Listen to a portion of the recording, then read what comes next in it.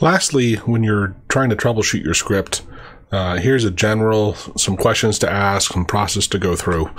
Uh, the very first one, it, it's silly, but I, I've I've had this happen to me too. Is is it running? Right? Do you see the green H, which I have one here?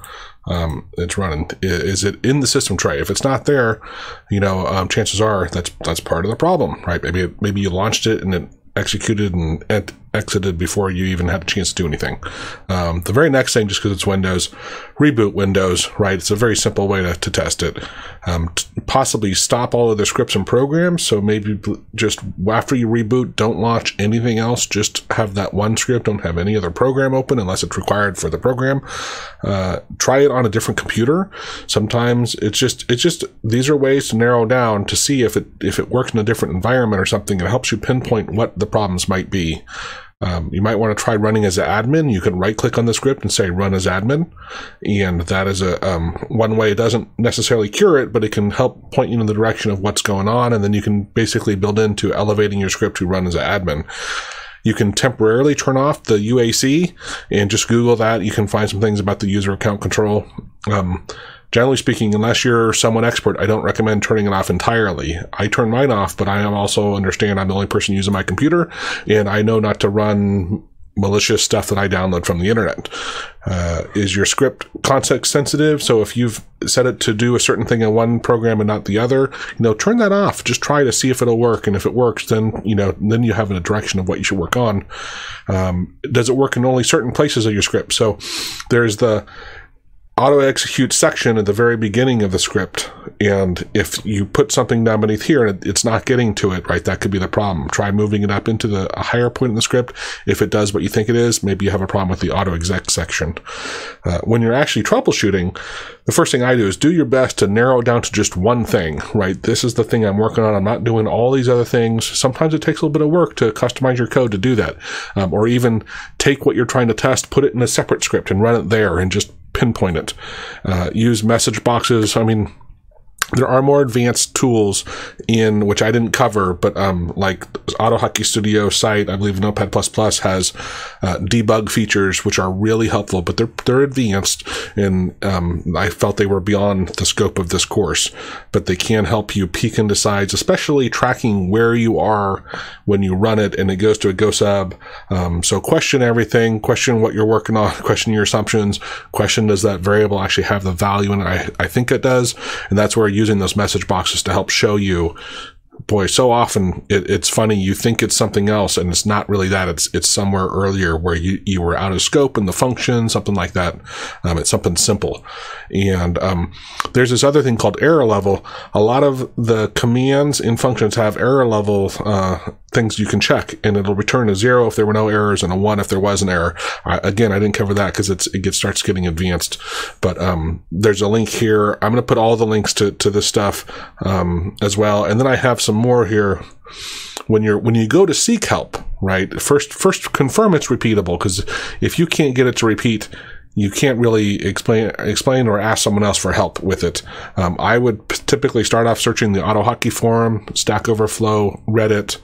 Uh, those are good ones.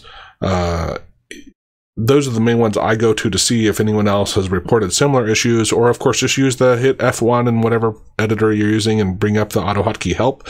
It has a lot of great, great documentation.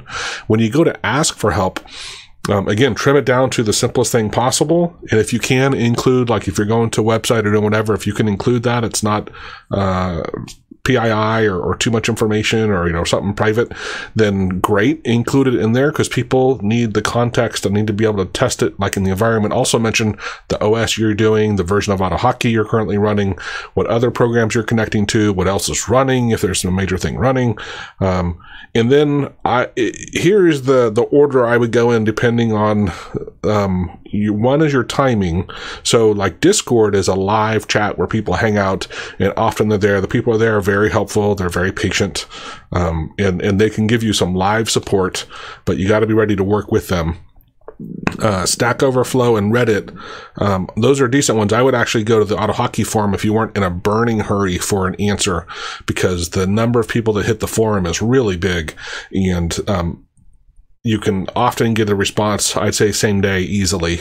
Uh, the Stack Overflow and Reddit, Reddit also people tend to hang out there. So, it, but it, it, also has a repository of past people, things that people have solved. So you can search for a, a, solution there, but you can pose, you know, other questions there as well. Stack Overflow is for the really minutia, like little, you know, snippets of stuff. That's usually what I, I go there. Um, I also might even in Stack Overflow look at other things. Like if I'm doing more advanced stuff, I might look at some other languages and see how they solve it and then try to adapt it. Um, but when you do it, you know, what, what's great is, is break it down. If your script is a thousand lines long and you're only having trouble with these 10 lines, extract out the 10 lines, you know, set, make a way. Maybe you have to add two or three lines to help make it, it, it run on its own. But, um, give those to the people because it really helps the person be able to help you. And a lot of the people I see that work in support, they they do a, an amazing amount of stuff, but if you don't give them the right information, it's uh, it's really hard. It's one of my favorite uh, stories. Is a short question requires a long answer and a long question re- requires a short answer. And so if you spend the time writing out a longer question saying, this is what I'm working on. Here's the context. Here's the, the, the version of AutoHotkey and the version of Windows that I'm doing it in the environment in. This is specifically where I am. This is what I've looked at. And this is the problem. You know, can someone help? Uh, the chances of someone giving you help and answering that for you are greatly increased as opposed to saying, can someone fix my script? It doesn't work, right? Also, uh, obviously for both for SEO and just for human interest, the title you give that question really helps draw in the right person. Um, it, it makes sure it's, it's meaningful. It's relevant to what your problem is. Um, usually typically mention the, the command or the function that you're working with. And, uh, it's, it's, it's really, um, it helps people experts in that area, you know, realize my ears would perk up if it was a specific area like web scraping that I'm very fluent in. I would go and look at that question as opposed to you have a vague topic and just with like, please help fix my code. I personally would never go look at that because I don't know what it is and you didn't spend the time to help me understand it. So spend a little time up front and it'll help you in the back end. Cheers.